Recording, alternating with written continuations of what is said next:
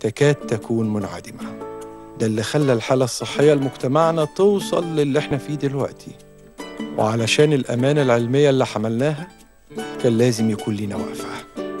وقفة احتجاجية ضد الجهل. وقفة طبية اسمها الدكتور. بيطلع لي صبار آه، حوالين بقي. بنتي عندها سنة وثمان شهور. أنا عايز أقول لكم أصبحت كابوس مفزع. مشكلة الدوالي. بدون ما نروح لدكتور وبدون ما نخش. جالي علاج بالليزر علاج تجميل؟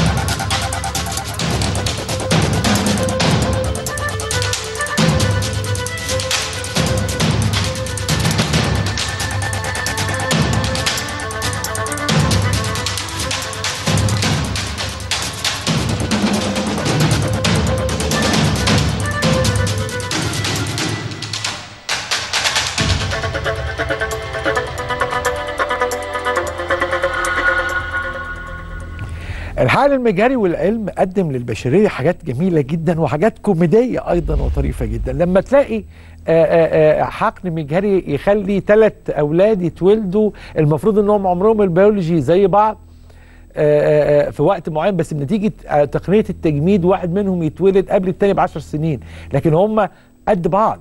حاجة لطيفة كده هفهمكم الحكاية. القصة اللي هحكي لكم دي حاجة رائعة جدا. القصة ديت يمكن حتى اللي كتبوا عنها بيقولوا إنها آه، قصة كانت يعني يعني لما تقرب منها تحس إنها يصعب تصديقها. القصة لسيده عندها دلوقتي ثلاث أولاد هم جورج وليلى ونوح. القصة بدأت بأن سارة سوان اللي كانت قاعدة في مدينة اسمها ليستر الإنجليزية كانت عندها رغبة في الإنجاب وكانت نفسها يكون عندها أولاد. لكن كانت بلغت عمر الس- 40 سنة. وما تقدرش طبعا تولد بشكل طبيعي. آه سارة لجأت إلى الحقن المجهري وبدأت تعمل التقنيات بتاعته وهم متقدمين جدا كمان في بريطانيا في المسألة دي. وبدأت تعمل حقن نجحت العملية الأولى وبدأت تعمل فعلا الولادة وما استمرت وولدت ابنها جورج. بعد ثلاث سنين طلبت تثبيت بويضتين مخصبتين أخرتين وبدأت تولد تاني بدأت تدخل في الحمل والولادة ولدت ليلى ونوح. آه، آه، يبقى عندها دلوقتي الثلاث ده الثلاثه دول يعتبروا توائم بس منهم اتنين توأم وطفل جاء قبلهم بثلاث سنين لكن عمرهم البيولوجي واحد. الكلام ده رائع جدا وجميل جدا والحقيقة من الحاجات اللي تخلينا بيقدم للبشرية أحيانا من الطرائف الجميلة اللي تعبر عن الإعجاز ال- الخلاق العظيم ربنا سبحانه وتعالى اللي ادانا هذا العلم وإحنا استخدمناه بطريقة رائعة جدا ونافعة للبشرية. الحوار سيكون مثير للغاية أكيد مع ضيف من الطراز الأول وقمة علمية كبيرة واسم قدير وعالم جليل في هذا المجال وأستطيع أن أقول إنه سبق كبير للإعلام المصري وجوده على شاشتها. طبعا الأستاذ دكتور إسماعيل أبو الفتوح. أغلبية المرضى بنخليهم يعملوا منظار الرحم ده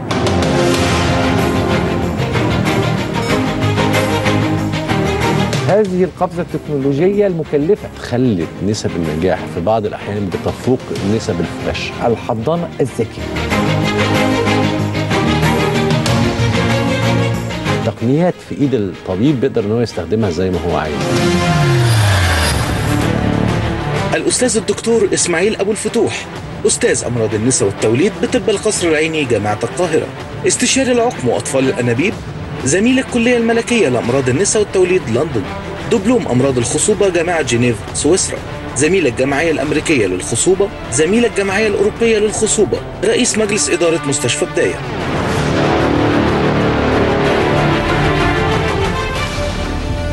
الاسم الكبير والقيمة العلمية الكبيرة وطبعا صاحب التواجد والجماهيرية العريضة اللي أضاف لنا الكثير. الأستاذ دكتور أهلا بك أهلا دكتور إسماعيل وسهلا. آه خلينا النهارده نبدأ حوارنا بكلمة مهمة قوي بدأت الناس تهتم إنها تفهمها قوي دلوقتي الإخصاب المساعد. عندنا إخصاب وعندنا مساعد. كلمتين. أوكي. عايز أفهم. الإخصاب المساعد هو آه، اسمه آه، ترجمة حرفية ل artificial reproductive technology اللي هو التقنيات الإخصاب المساعد اللي هي لو إحنا عايزين نترجمها حرفيا هي التعامل مع البويضه خارج الجسم وتخصيبها خارج الجسم وبالتالي تكوين الجنين وارجاعه عن طريق عنق الرحم إلى داخل الرحم. أضفنا إليها مجازا آه، التلقيح الصناعي فبقى عندنا حاجتين الإخصاب ال- ال- الإخصاب اللي هو آه، البويضة خارج الجسم آه، عن طريق آه، سواء أطفال الأنابيب أو عن طريق الحقن المجاري. وأضفنا لها زي ما بنقول اللي هو التلقيح الصناعي اللي هو إن إحنا ناخد الحيوانات المنوية نحضرها خارج ال- الجسم ونرجعها إلى الزوجة داخل الرحم عشان خاطر يحصل حمل ده ده, ده, الإخصاب. الإخصاب المساعد. إحنا بنساعد إيه؟ آه، هي هي يا إما حاجة من اتنين يا إما البويضة ما بتوصلش لل- الحيوان المنوي ما بيوصلش للبويضة فبالتالي ما بيحصلش الإخصاب الطبيعي والإخصاب الطبيعي المفروض بيحصل إزاي؟ لما الحيوان المنوي بيلتقي بالبويضة في قناة فالوب وبالتالي بيحصل الإخصاب وبعد الإخصاب ما بيحصل الجنين بينطلق من قناة فالوب إلى داخل الرحم عشان ينغرس في داخل بطانة الرحم ويحصل الحمل. ال- لما إحنا مشكلة بتحصل ما بيحصلش الإخصاب دوت سواء ما فيش قنوات فالوب أو قنوات فالوب مسدودة أو الحيوان المنوي لا يستطيع إن هو يصل إلى قناة فالوب عشان يخصب البويضه الحاجات دي كلها ما بيحصلش فيها إخصاب. فبالتالي إحنا بناخد الحاجات دي بره بناخد البويضه خارج الجسم بناخد الحيوان المنوي خارج الجسم نحقنه نحقن آه، الحيوان المنوي داخل البويضه يتكون جنين نرجع الجنين داخل الرحم. زمان أول ما بدأ الحقن المجهري أو اطفال الأنابيب بصفة عامة بدأت على بويضه واحدة بس. بدأت على إن إحنا ناتشورال سايكل بناخد آه، حويصله واحدة من الحويصلات في دورة عادية. في دورة في عادية دورة تبويض بناخد عادية. منها البويضة. فبالتالي آه عندنا بويضة واحدة. الحيوان المنوي آه بنحطه جنب البويضة. كان أياميها ما فيش حقن مجهري كان أطفال أنابيب. وبالتالي يخصب البويضة يتكون جنين خارج الرحم. نرجعه عن طريق عنق الرحم إلى داخل الرحم. حاليا آه، مع التقنيات الحديثة ومع بروتوكولات تنشيط التبويض بقينا نقدر إن إحنا ندي أدوية نك- ن- ن- نجيب أكتر من بويضة. فبالتالي لما بيبقى عندنا أكتر من بويضة بيبقى عندنا أكتر من جنين. يبقى عندنا فرصة لإن إحنا ننتقي عدد من الأجنة ومنهم بن آه، بننتقي من الأجنة ديت جنين أو جنينين جيدين نرجعهم داخل الرحم. وطب الباقي هنعمل فيه إيه؟ لو عندنا مثلا سي إن إحنا عندنا 10 أجنة. الباقي بيتجمد. يعني بي- في تقنيات دلوقتي آه، زي القصة. اللي إحنا حكيناها دي. زي ال- القصة دي ال- ال- القصة اللي أنت بتحكيها دلوقتي النهارده أيمن هي بتحصل كل يوم. يعني مش مثلا مش سابقه آه مش, مش بريطانيا عملت حاجة. يعني أنا آه. عايز اقولها لك إن كل يوم يعني أنا كل يوم بيجي لي آه ناس بيكونوا عاملين حقن مجاري قبل كده وعندهم أطفال وبيحملوا بالمجمد لأن تقنية التجميد دلوقتي بقت تقنية ممتازة. بقينا عندنا بعد ما بقينا نستعمل حاجة اسمها فيتريفيكيشن تقنية من تقنيات التجميد بقى عندنا نسبة الحمل في المجمد تكاد تبقى هي هي تقريبا زيها زي الطبيعي. فبقى عندنا كتير جدا آه، واحدة بتحمل مثلا في جنين أو جنينين وتيجي بعد مثلا 3 4 سنين أنا عايز أحمل مرة تانية. وبتحمل في في في المرة اللي بعديها. ده مش بس كده ده أنا عايز أقول لك على حاجة. آه، التجميد دوت ساعد ناس كتيرة جدا. أنا عندي حالة من الحالات. آه، هم الحقيقة ناس آه، مش مش مصريين يعني بس جم عملوا آه، من الكلام ده مثلا من ست سبع سنين. جم عملوا حقن مجهري وحملت في طفل وأنجبته. آه، بعد كده جايين نعمل آه، تحليل للزوج ما لقيناش عنده ولا حيوان منوي آه، ولا حيوان منوي لأن هو كان أساسا low sperm كان ال sperm بتاعه قليل جدا. آه، كان بالصدفة إن هو كان مجمد حيوانات منوية. حيوانات منوية كان بقى لها مثلا ست سنين. الحيوانات المنويه دي استخدمناها مرة تانية والزوجة آه، نشطنا لها التبويض وحملت مرة تانية بالمجمد بتاع جوزها وخلفت twins فبقى عندهم ثلاث أطفال من من ما كانش يعني لو كانوا استنوا شوية كان مش عندهم ولا طفل. لو ما كانوش بدأوا بدري إن هم يعملوا أطفال انابيب وحقن مجهري آه وما لجوش لتقنية التجميد اللي كانت برضو في الوقت ده ما كانتش منتشرة. يعني تقنية التجميد الحقيقة آه، يعني تجميد ال- الحيوانات المنوية تجميد الأجنة و recently دلوقتي بقينا بنعمل تجميد البويضات برضه. الحاجات دي كلها يعني مع الت- ال technology الحقيقة خلى الموضوع أطفال الانابيب والحقن المجهري ده من الحاجات ال- اللي فعلا ممتعة إنك أنت بقى عندك حل لكل المشاكل اللي موجودة. ثلاث أسماء ثلاث جمل مشهورين جدا دلوقتي. الإخصاب ال- ال- ال- ال- الصناعي أو التلقيح الصناعي وأطفال الأنابيب والحقن المجهري هنقولهم تاني الاخصاب الصناعي تلقيح التلقيح الصناعي. واطفال الانابيب وحقن المكاني بالظبط. ناس بتخلط الثلاثه ببعض هو كل الناس بتخلط. آه. بص انت لو مش متخصص لو الدكاترة حتى مش متخصصين هيخلطوا ما أنا الحاجات دلوقتي. اتلخبطت. أيوه ما أنا بقول لك هي القصة كلها لو واحد مش قاري بقى ومش متخصص دايما بي- بيتلخبطوا في الحاجات دي. آه هي هي القصة كلها إيه؟ التلقيح الصناعي اللي ترجمه artificial insemination إن إحنا آه بناخد الحيوانات المنوية بتاعة الزوج ونحضرها خارج الجسم. آه وبعد ما بنحضرها بنكون مديين للزوجه أدوية تنشيط علشان خاطر نحدد إمتى هنرجعها لأن إحنا عارفين إن إحنا بنرجعها يا إما في natural cycle دورة طبيعية يا إما دورة منشطة. نرجعهم الحيوانات المنوية المخص... ال- المنشطة نوعا ما بحاجة اسمها Percoll أو ليها طرق لل... للتنشيط وبناخد الحيوانات المنوية ديت نرجعها عن طريق عنق الرحم إلى داخل الرحم. ال- الموضوع دوت بينفع لمين؟ ينفع للناس واحد اللي هم عندهم تأخر في الحمل غير مفسر السبب. ده أكتر ناس ينفع معاهم.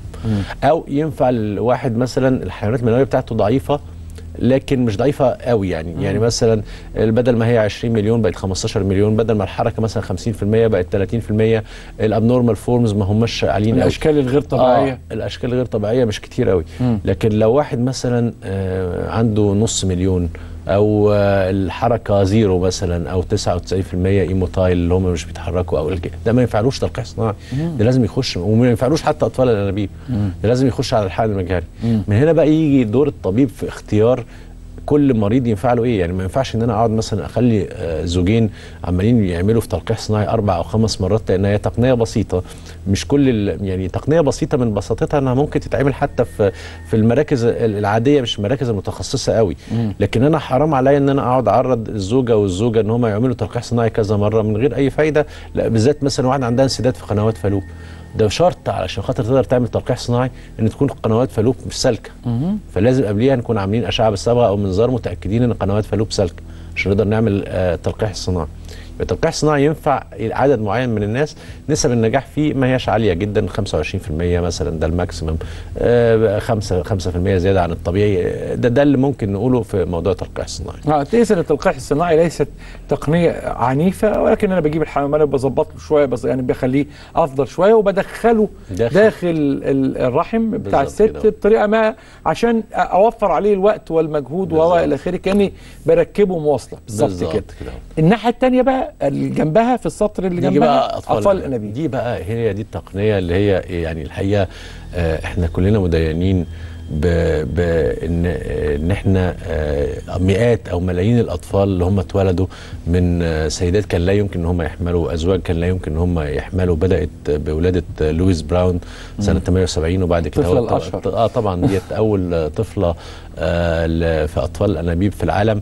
آه وطبعا ليها قصة آه جامدة جدا يعني آه آه إن ما كانوش حتى في إنجلترا مؤمنين إن التقنية دي هتنفع يعني أول ما بدأوها. آه هي بدأت أول مرة اتعملت وعلشان يقدروا إن هم يوصلوا ال- القصة دي دي عايزة حلقة لوحدها نقعد نحكي إزاي قدروا يتوصلوا لأول طفله أطفال أنابيب وإزاي كانت ال ال كل الميديا وكل حد كان بيهاجموهم إن هم بيعملوا حاجات آه، مضادة للطبيعة. يعني الموضوع دوت طبعا قتل بحثا ساعتها لحد ما آه، ولدت آه، لويس براون وأثبتوا إن ينفع يحصل اخصاب خارجي للبويضة الآدمية. هم كانوا دايما دايما فاكرين إن بويضة البني آدم أو ال- السيدة يعني لا يمكن أنها تخصب خارج الجسم ويحصل منها جنين والجنين ده لا يمكن إن هو لو رجع إلى الرحم إن هو يلتصق. آه. لحد ما حصلت لويس براون وهي حامل لويس براون اتنين تانيين كانوا حوامل.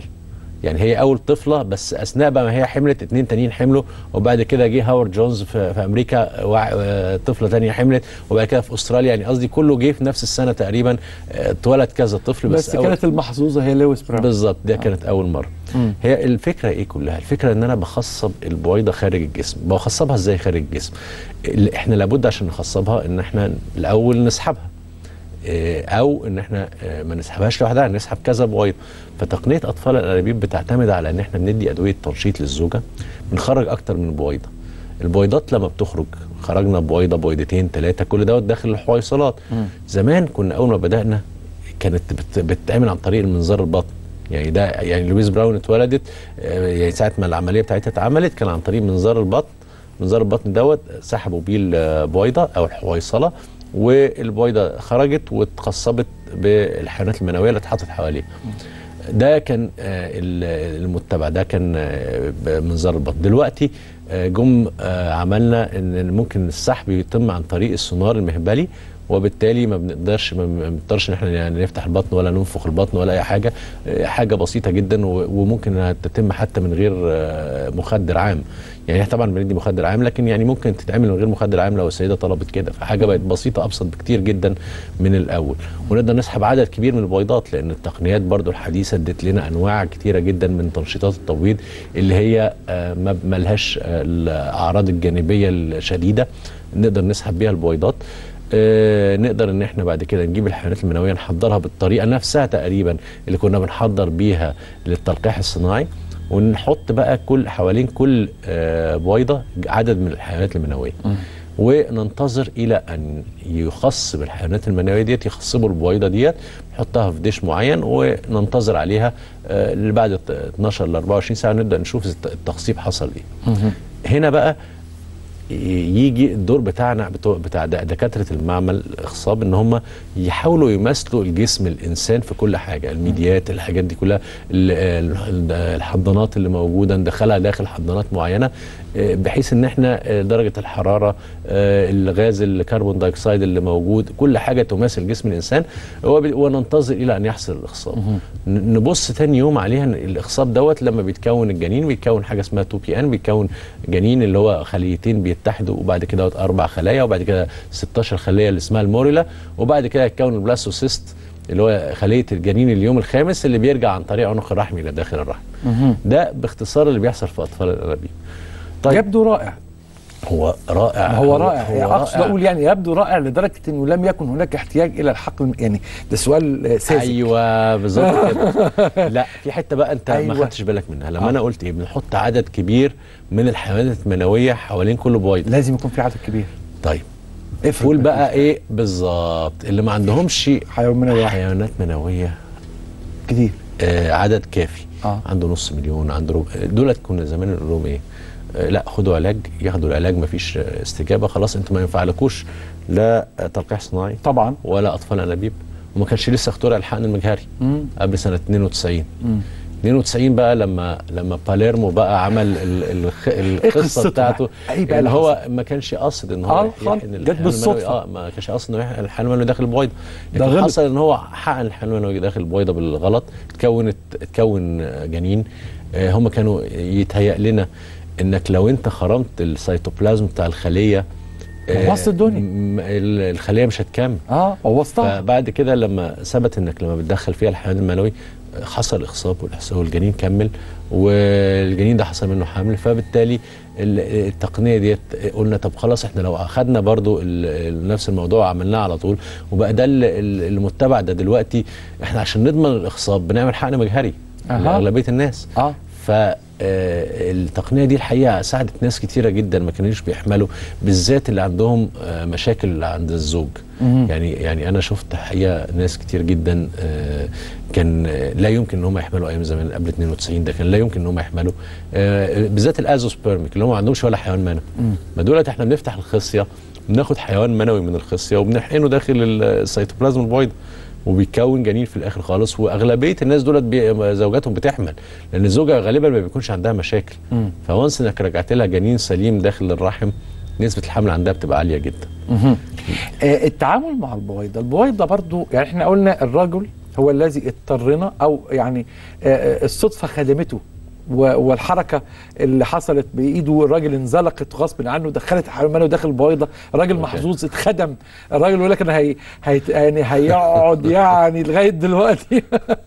متهم. يقولوا له ما أنت السبب؟ إحنا ما عملنا خلاص ح- أطفال انابيب وأنت حيواناتك المنوية قليله كانت الرجالة هتتروق يعني. آه، آه، آه، ولكن البويضه أحيانا تكون يعني مضطرينا أو في اضطرار من خلال البويضة وشكلها إن إحنا نعمل حقن مجهري بص هو طبعا آه، لازم إن إحنا نبقى عارفين حاجة.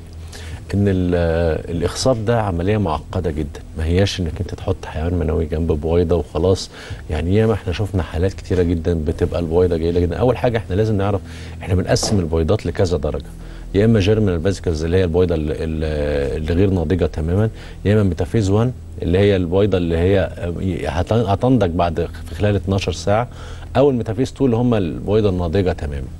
دولت اللي إحنا بنقدر ن identify أو بنقدر إن إحنا نتعرف عليهم بعد سحب البويضات.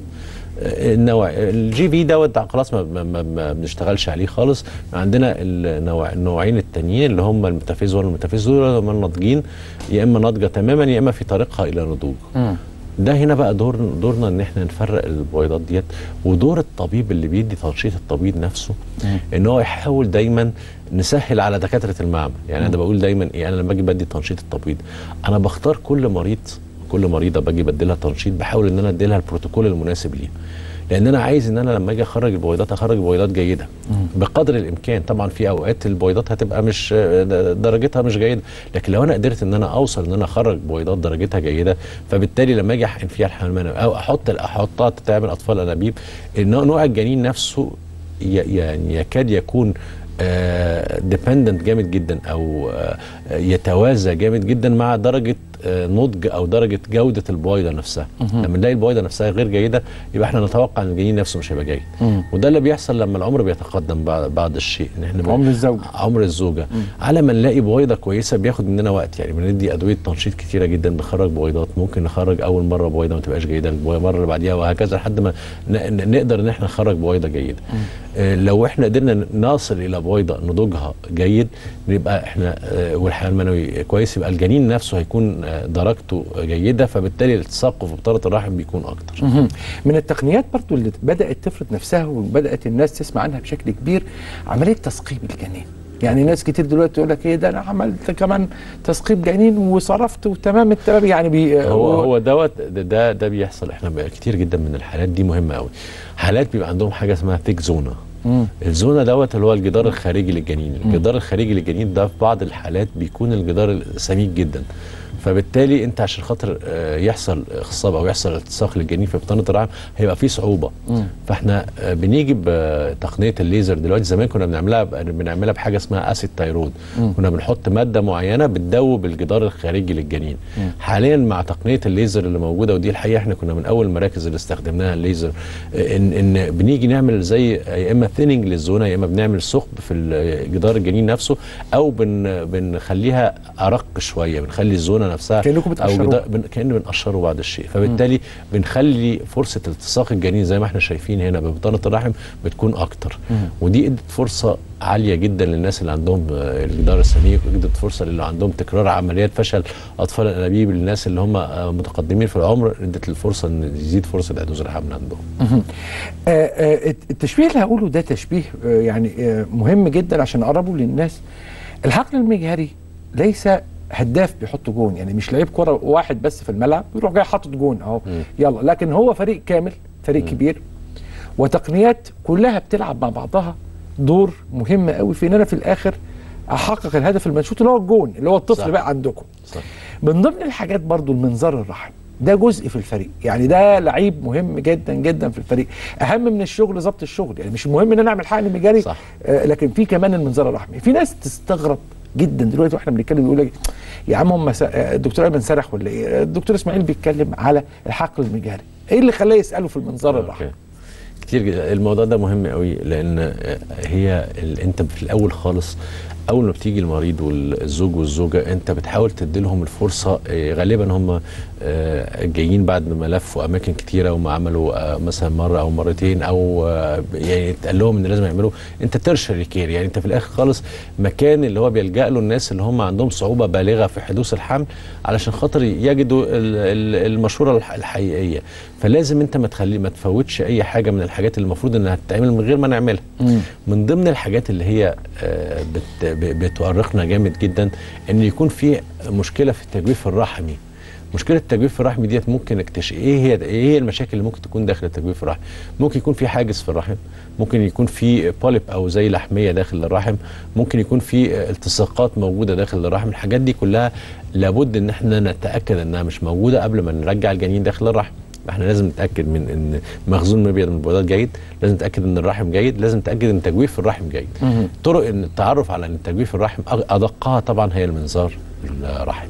المنظار الرحمي دوت ميزته بقى ان هي تقنية بسيطة جدا بنعملها قبل ما نبدأ أطفال الأنابيب وفي بعض الأحيان بدأ دلوقتي في در بعض الدراسات بتقول إنك أنت لو أنت عملت حاجة سكراتش كده هوت أو جرح. بسيط أو خربشة بسيطة داخل التجويف الرحمي بتزود فرصة حدوث الحمل بالذات الناس اللي حصل لهم تكرار لفشل الح- الحقن المجهري. بتزيد نسب الحقن المجاري ونجاحه مع استخدام مع, مع طبعا. و يعني أنا أنا شخصيا أنا لسه في حالة قريب جدا كانت عملت كذا مرة.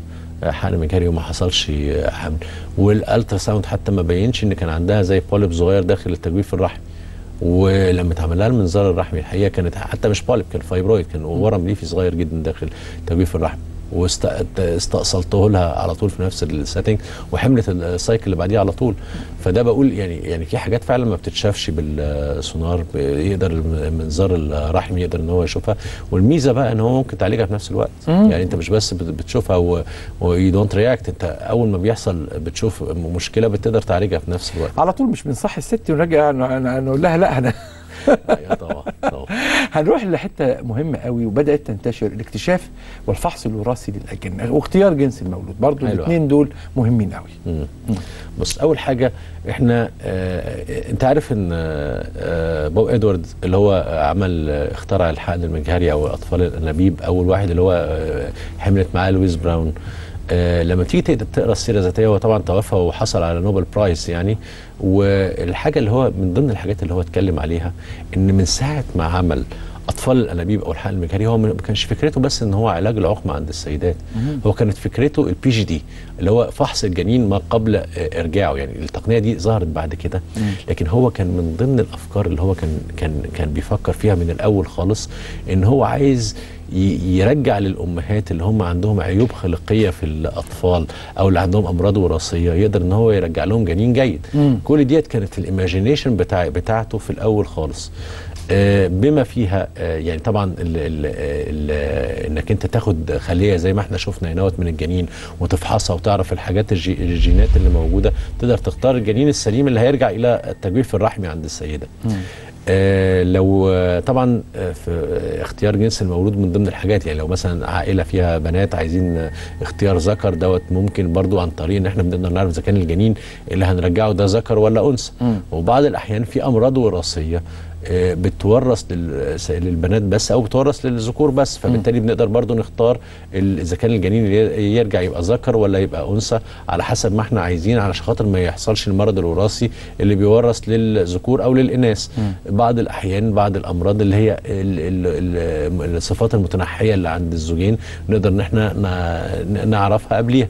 فبتوفر علينا إن يحصل حمل وبعد كده يجهض أو يحصل حمل وبعد كده دوت يحصل فيه مشاكل الجنين يولد بيه عيب خلقي ويؤرق أهله على طول. تقنية ال- الفحص الجنين آه، فحص الجنين قبل إرجاعه إلى ال- داخل الرحم الأم ديت آه، ساعدتنا جدا اللي هي ال PGD ودلوقتي التقنيه اللي أحدث بقى اللي هي ال PGS قبل أن نمشي وقبل أن أقول لك في النهاية ثلاث جمل مهمين.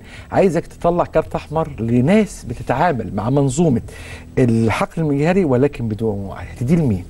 كارت الأحمر. طرد.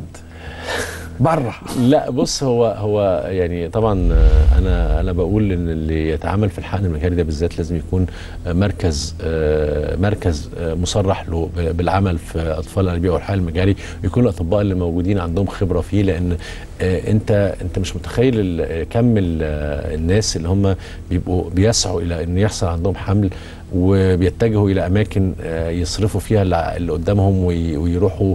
ناس مش متخصصة يبدأوا يعني مش بس إن هم بيستنزفوهم هم ممكن يضروهم. يعني أنا شفت حالات كتيرة جدا كان عندهم آه، مثلا أكياس آه، أكياس إيه اللي هي أكياس اللي هي وظيفية. دموية واكياس عادية.